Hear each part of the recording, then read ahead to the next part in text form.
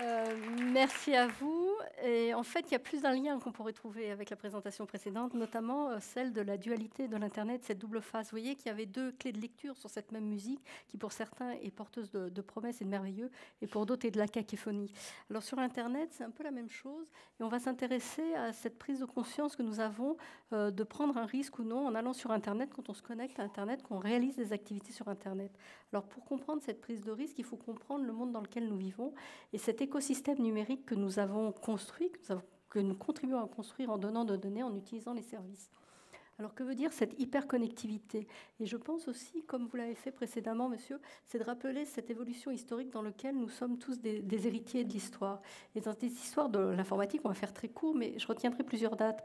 Euh, la première, c'est qui nous est peut-être plus familière, c'est la Seconde Guerre mondiale, où on a vu l'émergence de l'informatique avec euh, un besoin de computation, de calcul informatique pour briser euh, des codes ennemis. Et c'est grâce à Alan Turing qui a fait naître cette informatique moderne.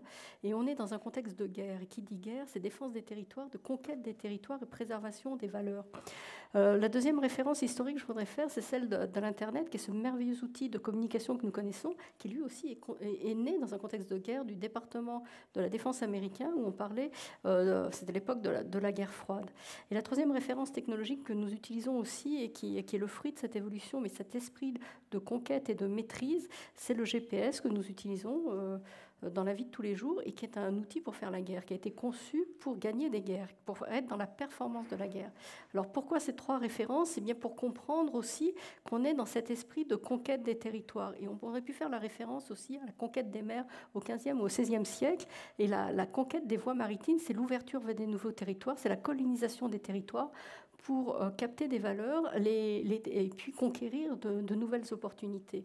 Et je crois qu'avec le numérique, nous sommes dans ce contexte-là, dans cette même philosophie de conquête des territoires numériques. Et que sont nos territoires numériques? Ce sont nos patrimoines numériques, ce sont des données.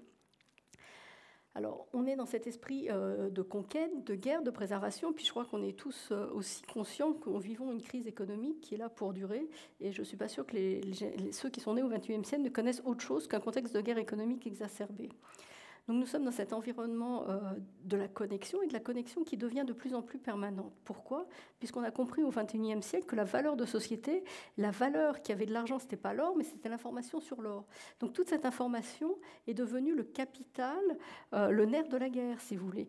Et donc on a vu se développer des services et une économie du numérique qui est basée sur l'exploitation des données, sur, du, sur euh, la consommation de données. Et l'idée, c'est de pouvoir capter en permanence des données et pouvoir les traiter et, inciter les personnes à être connectées en permanence. Alors nous sommes de plus en plus connectés, vous en faites sans doute l'expérience dans votre vie euh, euh, professionnelle ou votre vie euh, privée. J'ai envie de dire, même les vaches sont connectées. Sont-elles heureuses? J'en suis pas sûre. Et, les animaux sauvages ont été les premiers à être connectés. Peut-être le savez-vous, ce sont les baleines qui ont été connectées ou pucées les premières pour pouvoir justement pouvoir les suivre, les tracer et puis offrir un peu peut-être une idée de préservation de l'espèce. Donc on voit qu'on a cette sollicitation permanente d'être de plus en plus connecté pour alimenter cette économie du, numérique, qui est une économie euh, d'ultralibéralisme et d'exploitation des données, donc de consommation d'exploitation. Alors dans cette hyperconnectivité, qu'est-ce qu'il faut se souvenir? Euh, C'est qu'on a on a parlé euh, très rapidement et très succinctement de cette évolution euh, des techniques informatiques. On, pourrait euh, s'intéresser beaucoup plus aussi sur les interfaces, les outils de communication entre l'homme et la machine, enfin j'ai envie de dire l'humain et la machine. Et plus c'est compliqué euh, pour la machine, plus c'est simple pour, euh, pour l'humain. Et on voit cette simplification d'accès, euh, d'interfaçage qui était aussi concomitante à la miniaturisation des, composants. Et le composant informatique est devenu tellement minuscule qu'on parle de poussière intelligente, de nanotechnologie. Et cette capacité embarquée d'avoir des, des puissances d'automatisation L'autonomie en termes d'énergie permet euh, l'invisibilité des communications. Donc on a un fil à la patte électronique qui est invisible puisqu'on communique avec du sans-fil. Et cette évolution du sans-fil a été aussi favorisée par une évolution des réglementations liées à l'usage euh, de l'espace pour communiquer.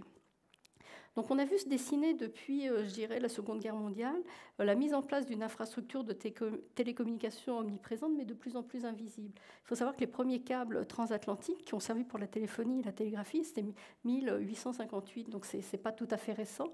Mais depuis cette guerre froide, depuis la conquête de l'espace, et on a marché sur la ligne, c'était en 1969, on a vu aussi cette conquête de l'espace avec des satellites de télécommunication qui permettaient à des, à des civils l'usage de la transmission d'informations. Et c'est pour ça qu'on a vu quand même ce premier homme sur la Lune euh, ce, mois de, de, juillet 69. Alors, cette infrastructure, elle est là. Euh, il y a des services qui sont possibles du fait des composants, des, terminaux d'accès, aussi des, contenus. On a beaucoup hérité euh, du multimédia, du divertissement euh, et de la capacité à traiter ces informations. On a vu la miniaturisation des composants avec des capteurs qui deviennent de plus en plus minuscules. Mon chien est pucé, il a une puce RFID dans le cou. J'imagine que moi, dans 10 ans, j'en aurai une aussi, puisque on trouvera ça même pratique. Alors, euh, mon téléphone, en fait, c'est un téléphone, mais ma voiture, c'est un téléphone dans lequel je peux m'asseoir. C'est un téléphone à roulette, une voiture. On a vu apparaître cet Internet des objets du fait de cette concomitance et puis de cet alignement des étoiles euh, sur, en termes de technologie, de maîtrise, de fabrication des composants, et puis de cette euh, énergie informationnelle qui va nous alimenter. Alors dans, cette énergie informationnelle, on voit bien qu'on a des intérêts euh, économiques à pouvoir les, capter, les maîtriser. Et on a vu des entreprises euh, prendre du pouvoir dans ce domaine des télécoms et de l'informatisation, des entreprises dont même le nom sont devenus des mots du dictionnaire. C'est le cas de Google et c'est le cas de l'ubérisation de la société. On parle bien d'ubérisation. Qu'est-ce que ça veut dire? Ça veut dire que tout ce qu'on faisait avant, ben, on le fait, mais d'une façon différente, via des plateformes de mise en relation, des plateformes d'échange. Donc cette communication qu'on veut extensive avec tout un chacun, c'est une communication qui est médiée par des technologies de l'information. Mais parler des technologies, ce n'est pas suffisant. Il faudrait parler de ceux qui conçoivent ces technologies, qui les maîtrisent, qui les mettent en œuvre, qui les gèrent, qui les vendent, et puis ceux qui utilisent. Donc on est dans cet écosystème où on voit bien qu'on devient de plus en plus dépendant à des fournisseurs de technologies et à des solutions euh, de technologie, pour le meilleur et j'irai pour le pire. Alors dans ce contexte d'hyperconnectivité permanente, omniprésente, et dans cette hyperconnectivité, on voit bien qu'on a un besoin, et j'en reviens à cette conquête des mers, de ces nouveaux territoires, euh, de cartographie euh, euh, des informations. La preuve en est que si vous voulez voir des images de la Lune, de Mars, des fonds sous-marins, vous y avez accès grâce à vos moteurs de recherche préférés peut-être. Euh, on est dans cette captation permanente euh, de l'information. Et on, l'a évoqué tout à l'heure avec les virus biologiques. Euh, on voit bien cet ADN, hein, c'est joli, mais peut-être que l'ADN, c'est le premier système d'information qui a existé avant même de parler de technologie de l'information. et là, avec des capteurs et cette intégration dans le corps biologique de l'électronique, on est en capacité de capter en permanence euh, les données du vivant. Et on parle du corps humain, je vous ai parlé de mon chien tout à l'heure, des vaches connectées.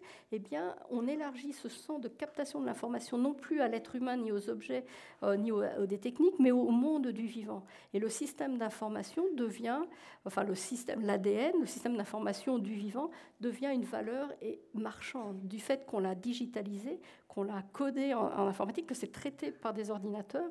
Eh bien, on est dans euh, dans l'industrie du vivant.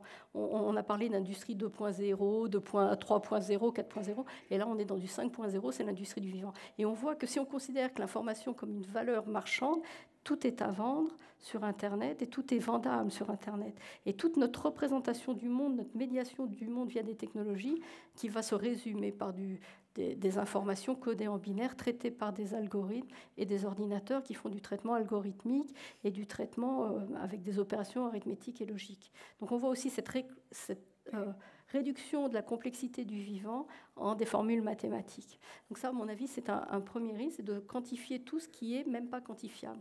Et on parle de quantification, euh, de mesure, si vous voulez, des sentiments, des comportements, des habitudes. Et c'est ce qu'on fait quand on est en ligne en, permanence.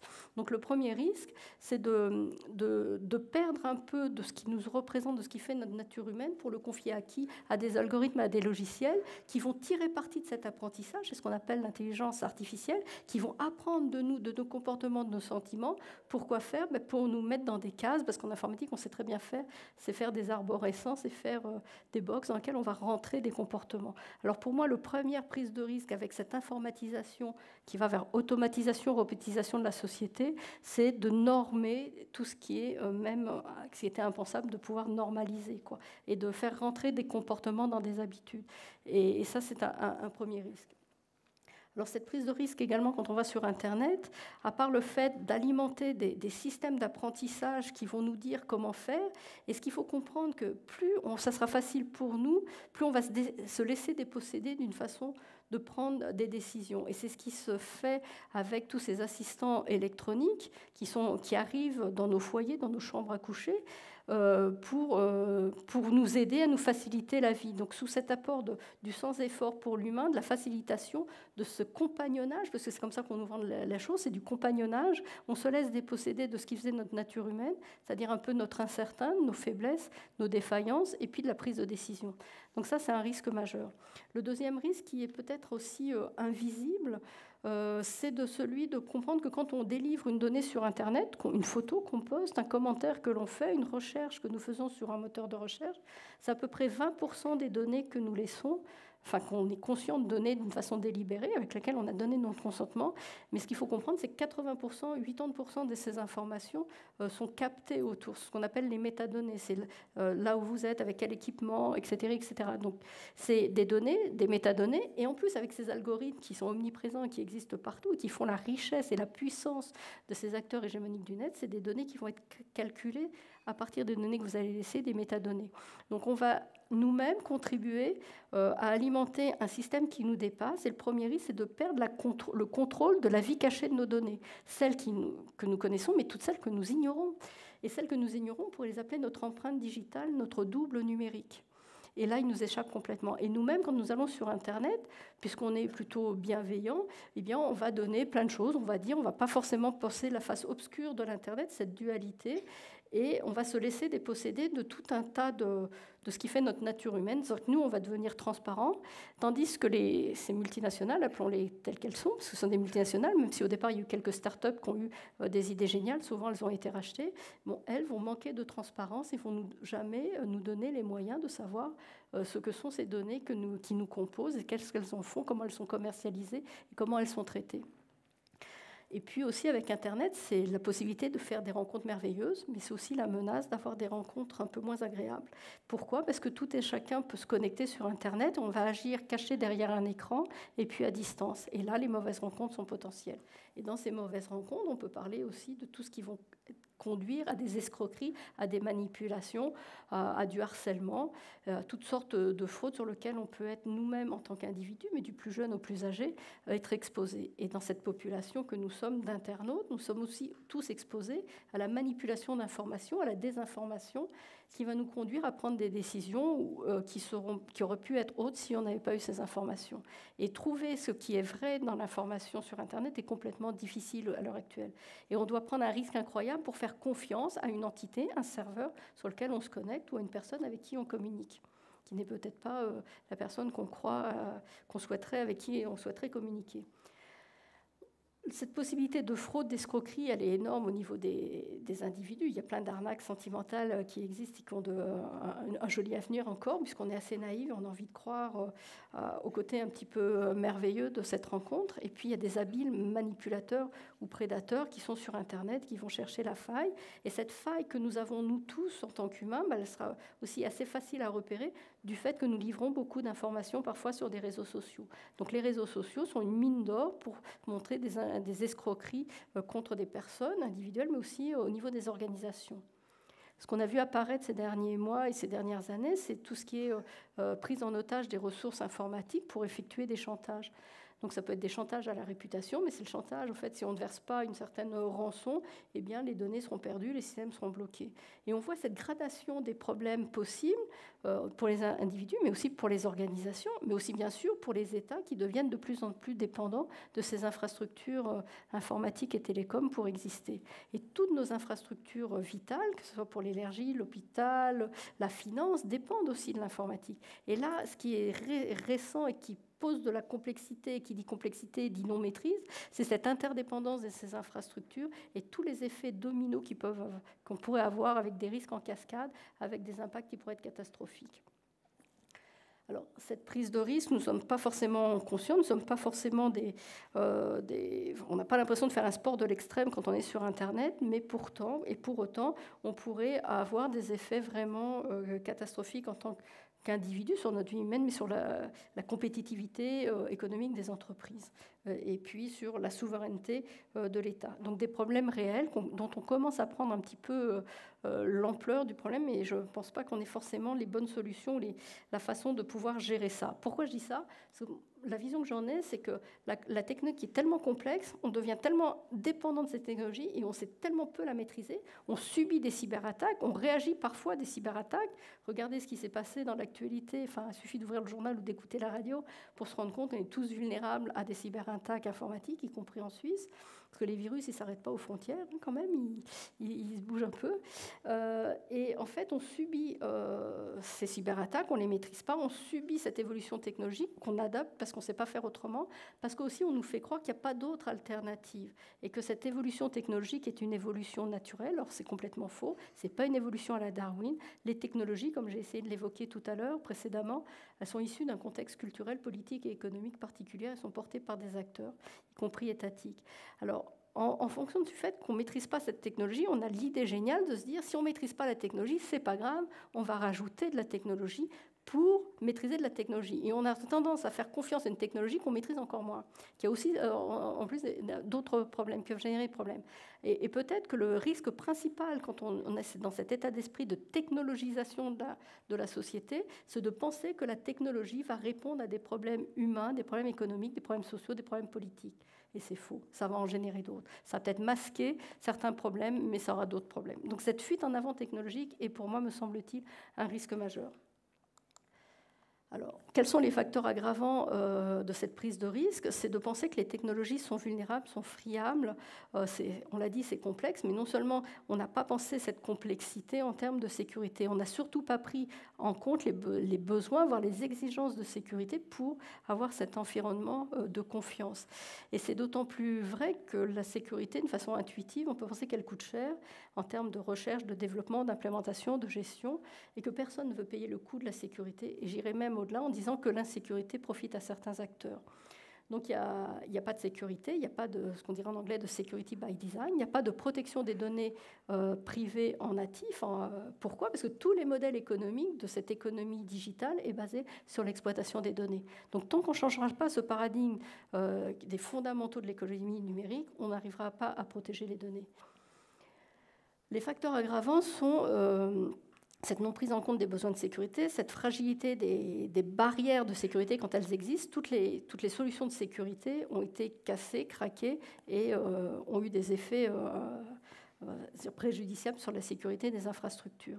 Donc une grande difficulté pour assurer cette sécurité, qui est aussi doublée par le fait que les, malveillants ont très bien compris comment faire du business avec cet environnement digital et de tirer profit de cette insécurité. Et si l'information a de la valeur pour euh, les entreprises licites, elle a d'autant plus de valeur pour les entreprises illicites ou les acteurs malveillants qui veulent s'accaparer cette richesse.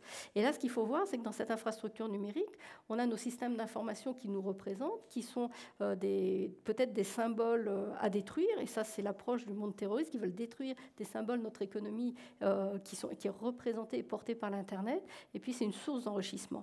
Donc, on est des cibles, on est devenu des cibles en ligne, connectées, interdépendantes, euh, à, enfin, l'objet de cybercriminalité, de cyberattaques. Et cette population euh, d'acteurs qui peuvent être attractifs, enfin, qui peuvent être comment dire, c'est nos cibles, nous sommes des cibles attractives pour ces acteurs-là. Ils ont su développer toute une économie de cette malveillance embarquée dans des logiciels, puisque l'arme, c'est du code informatique, c'est du programme et c'est de l'information. Et où est-ce qu'on va retrouver tout ça? Sur Internet, sur la face cachée de l'Internet, dont on parlera de dark web, cette notion de noir et de trou noir tout à l'heure, on pourrait aussi faire le lien. Et euh, tout se vend et tout s'achète sur Internet, y compris les compétences. Et, avec cet outil euh, de, mise en relation des cibles et des, victimes, des cibles et des malveillants, mais aussi de mise en relation de tous les acteurs qui peuvent être performants pour une malveillance donnée. Donc tout ce qui est à louer, à acheter, euh, et c'est très facile de devenir malveillant sur Internet. ça sera peut-être l'objet d'une autre conférence. Mais, euh, donc il y a tout un écosystème favorable à, cette, euh, à ces cyberattaques, à ces cybermalveillances qui sont possibles sur Internet.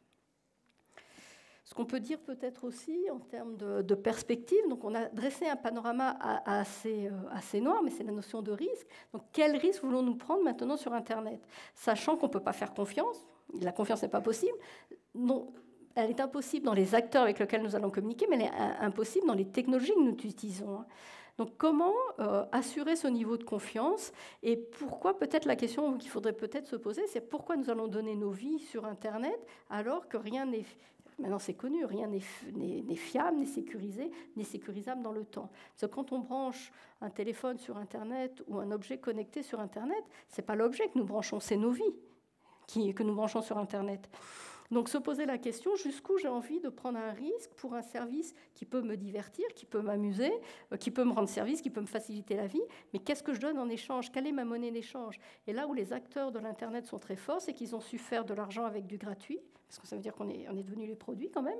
Et euh, le slogan pourrait être transformer la data en or et la connectivité en pouvoir. Je pense que tant qu'on n'aura pas pris conscience de l'importance de ce slogan marketing euh, qui est porté par ces acteurs hégémoniques euh, du net, on ne prendra pas suffisamment la prise de, euh, le risque pris en se livrant comme ça sans fin à nos données. Se poser peut-être la question de savoir est-ce que pour accepter cette nouvelle application qui peut m'amuser ou me rendre service, est-ce que j'ai besoin de donner tout, accès à tous mes contacts, à tous mes contenus que je trouve sur mon périphérique? Donc essayer d'avoir des réflexes de base, de se, réapproprier notre écosystème, notre vie, et se poser la question de euh, de l'intérêt, de l'utilité de cette connectivité et de ces données. Et puis peut-être, euh, crois qu'on pourrait oser prendre le risque de transformer tout ce qui est progrès scientifique et technologique en progrès social, économique et politique. Ça, c'est un risque que j'ai envie de prendre.